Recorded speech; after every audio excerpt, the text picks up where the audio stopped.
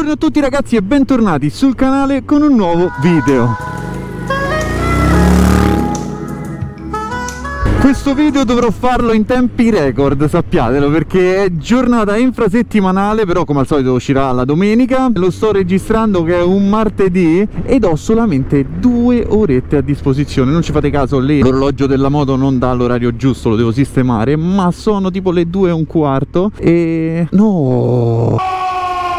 La strada è chiusa io devo andare a destra. Ecco questo non ci voleva per esempio. E niente come dicevo stiamo andando verso i castelli perché oggi voglio fare un giretto locale ma la parte centrale del video sarà un'altra. Come avrete capito dal titolo oggi vi spiegherò un attimino come sono organizzato io a livello di fotocamere e videocamere che tra l'altro questa devo alzare un pochino di più e qual è il setup perfetto almeno per me. Non andremo a parlare nel dettaglio del tipo di ripresa che io faccio quanti frame per second secondo utilizzo, quale risoluzione e tanti altri piccoli dettagli perché lì il discorso diventerebbe infinito, potrei continuare ore e ore a parlare solo di quello, però ho pensato che questo video potesse essere utile per tutti quanti quei motociclisti che vorrebbero anche loro riprendere le loro giornate e sicuramente ce ne sono a migliaia e sicuramente con più esperienza di me, ma allo stesso tempo ci sono anche dei videografi che come me conoscono bene il lato video, però magari non sanno bene come posizionare tutti quanti gli accessori o come per esempio esempio sistemare organizzare il microfono all'interno del casco. Quindi oggi andremo a vedere tutte queste piccole cose facendoci un giro ai castelli. Tra l'altro oggi giornata rara in cui non mi vedrete mangiare perché?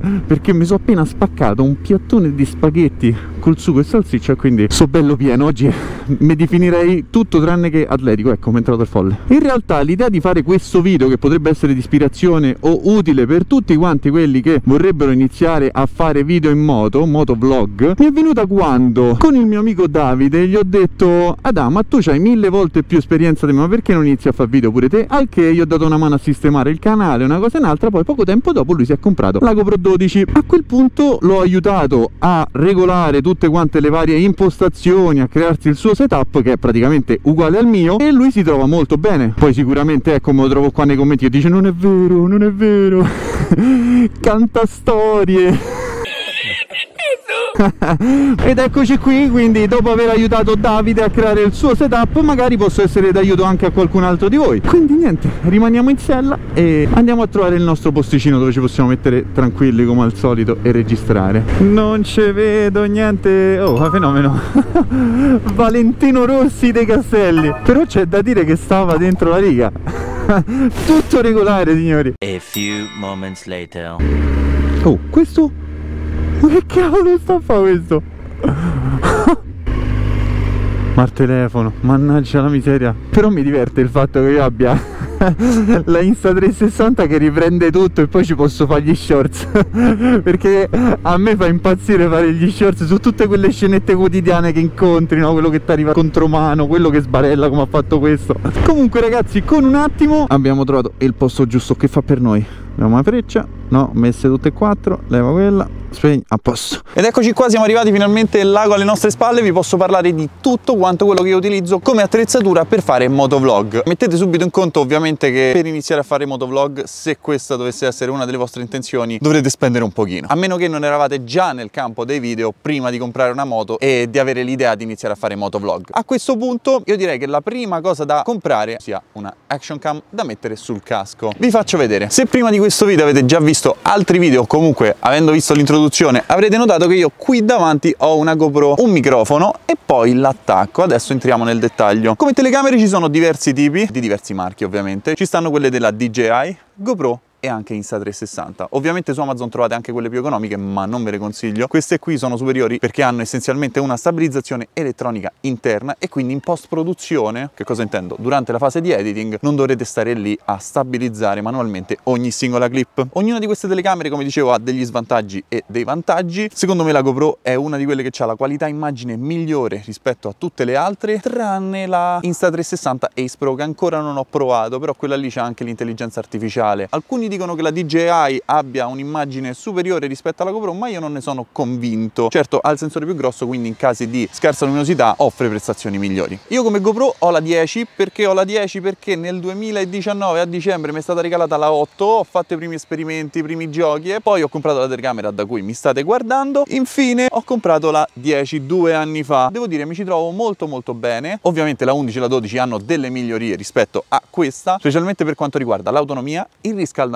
dell'action cam e il processore. A mio avviso per iniziare vi basterà una GoPro dalla 8 in poi. Ve lo dico per esperienza personale perché la GoPro 8 ha già una buona stabilizzazione. Ovviamente prestazioni migliori, autonomia migliore significano anche meno cambi di batteria, quindi se avete la disponibilità andate per la 12 come ho consigliato anche a Davide. Io per il momento con la 10 mi trovo molto molto bene, sconsiglio la Insta360 da mettere sul casco a differenza di altri motovlogger che la consigliano perché il sensore della Insta360 in 4K non mi piace come registra a livello di qualità. Successivamente ciao per attaccare le nostre action cam al casco ci sono appositi attacchi. Io consiglio quelli che hanno l'adesivo 3M perché è uno dei più resistenti e applicarla diciamo non è una scienza. Poi nella descrizione del video vi metto i link di tutti quanti i prodotti che ho io. Con questo qui devo dire mi ci sto trovando estremamente bene e anche questo l'ho fatto acquistare a Davide. Alcuni le mettono di lato, altri in testa, a me piace davanti perché ha proprio il punto di vista del motociclista. Per poter avere l'audio che va direttamente nella telecamera dipende dall'action cam che avete. Nel caso della GoPro quello che dovrete fare è acquistare un apparecchio esterno. Ci sono quelli brutti che vengono tutti laterali eh, che a me faceva schifo, devo essere onesto, e quindi ho optato per il Media Mod. Costa un pochino di più, però da qui avete l'accesso all'AUX, USB-C e anche l'HDMI, quindi tanta roba, tanta roba e nel caso in cui la vorreste utilizzare come videocamera per farci vlog ha anche tutti quanti gli attacchi per i microfoni, luci e roba varia. Mi raccomando non risparmiate sull'audio. L'audio secondo me per qualunque tipo di video voi vogliate andare a realizzare è fondamentale perché volete mettere una cosa che si sente tutta quanta strana eh, rispetto a una bella cristallina che si sente bene, chiara? Sì, voglio mettere. Quindi io qui ho preso un Rode Mic Lavalier. Lavalier sono tutti quei microfonini che hanno piccolini, che hanno tutto quanto il filo lungo, però quello lì lo fate passare, staccate tutte le fodere interne e lo fate passare lì dentro, lo arrotolate, lo fate girare intorno. Eh. Io lo fatto passare qui sotto. E devo dire che va molto bene e non mi si impiccia e non mi esce. Quindi risultato ottimo. Oltre alla GoPro 10 sul casco con i vari attacchi adattatori microfoni e cose varie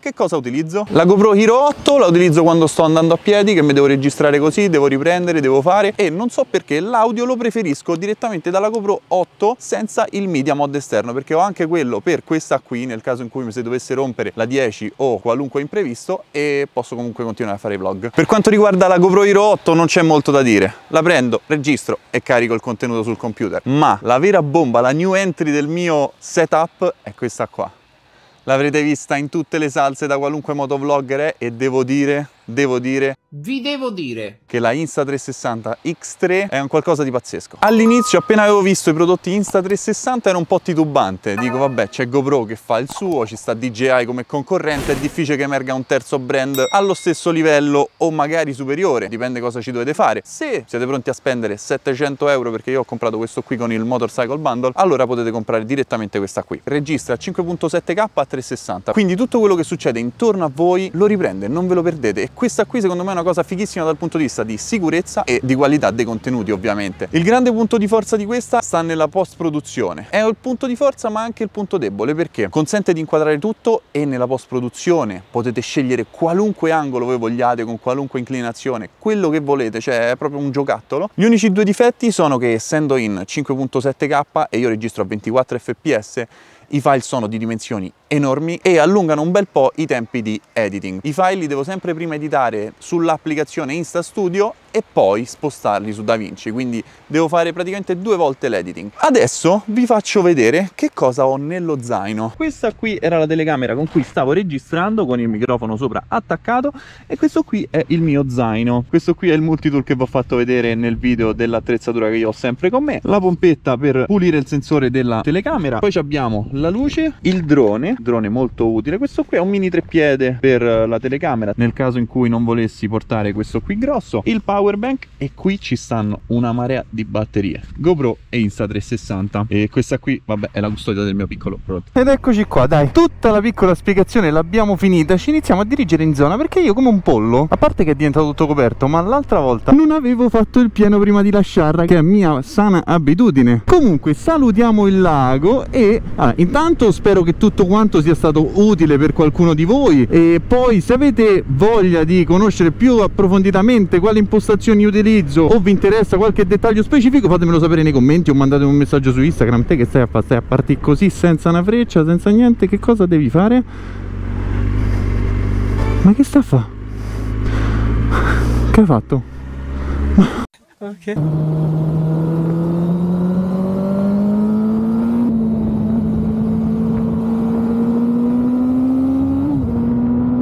Ma guardate che bello, cioè, che spettacolo Castel Gandolfo comunque. Dopo i 5 minuti del coglion, guidiamo rilassati con un filino di acceleratore fino a Stefano. Piano piano mi piacerebbe creare una sorta di serie tv no? con tutti quanti i personaggi così voi sapete chi sono gli amici con cui esco. Quindi Davide, Salvatore, Fabrizio, Enrico tutti quanti, eh, Pierfrancesco, Marco. Non posso fare tutta la lista se no non finisce più. E poi ecco magari i miei punti di riferimento tipo Stefano per fare benzina oppure dove vado a mangiare la pizza in zona. Quindi voi imparerete a conoscere tutte quante le mie abitudini con il tempo soprattutto se vi interessa.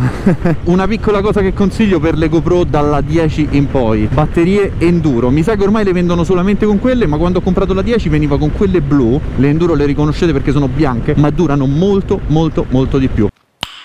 Nice. Cioè io con una sola enduro riesco a fare mezza giornata. Ovviamente dipende quanto registro. E allo stesso tempo vi dico Insta360 ho tre batterie Durano una vita, un'eternità. Oh eccoci non c'è Stefano. No. Che tristezza. Oggi non ci potremo insultare come sempre. Porco.